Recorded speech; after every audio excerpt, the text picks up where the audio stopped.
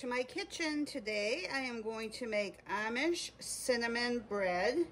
This recipe makes two loaves. So the first thing I'm going to do is add one cup of melted butter.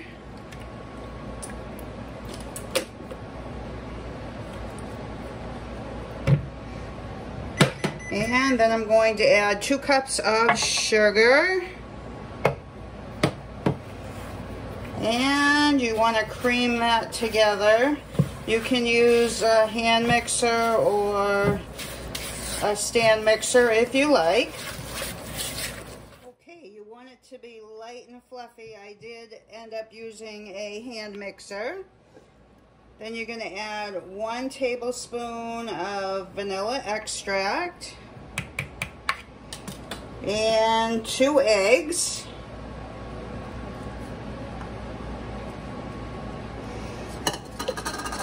And again, you're going to mix those all in. Once you have that mixed together, we're going to set that aside. I have four cups of all-purpose flour. I'm going to add two teaspoons of baking soda. One teaspoon of cinnamon and a half a teaspoon of nutmeg. And I'm just to give that a stir. And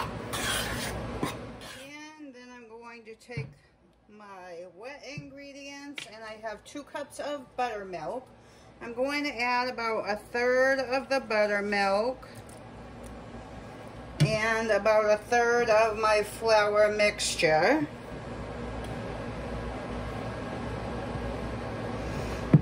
And I'm just to mix that. Going to add another third of buttermilk and another third of my flour mixture. Mix that and then I'll add the rest.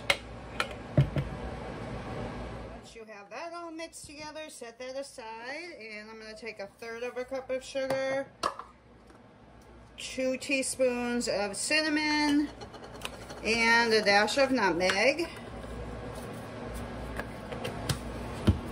And just stir that together.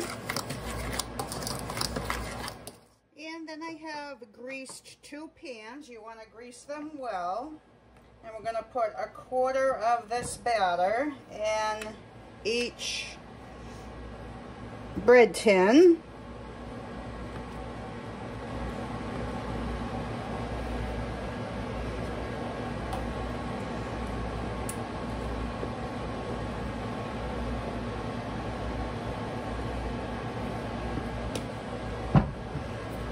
And you just want to smooth that out.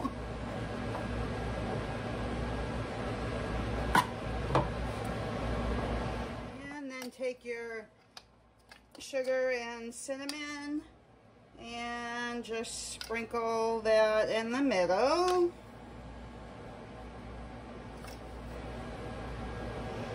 And you want to use about half of that mixture. And then take a knife and just make some swirls in it.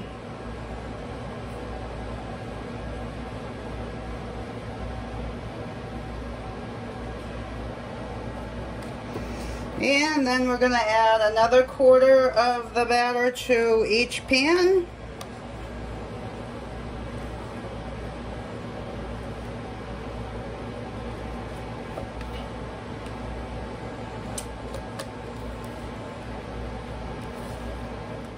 Just smooth that out the best you can.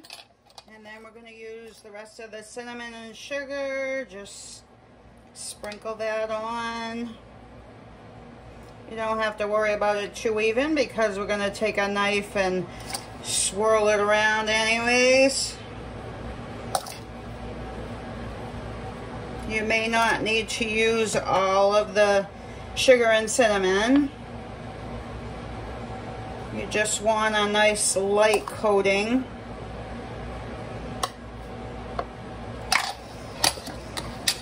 And take your knife And just swirl it around.